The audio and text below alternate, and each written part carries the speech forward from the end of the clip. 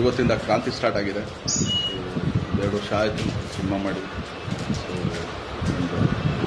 ಬೇರೆ ಆಯಾಮ ಇರೋಂಥ ಒಂದು ಸಿನಿಮಾ.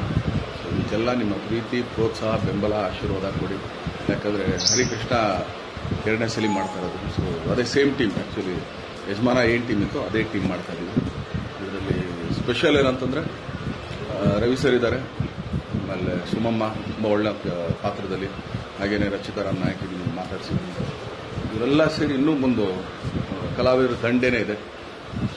ಆಶೀರ್ವಾದ ಸದಾ ನಮ್ಮ ಮೇಲಿರಲಿ. ಕನ್ನಡ ಚಿತ್ರರಂಗದ ಮೇಲಿರಲಿ ಅಂತ ಕೇಳ್ಕೊಳ್ತೀನಿ.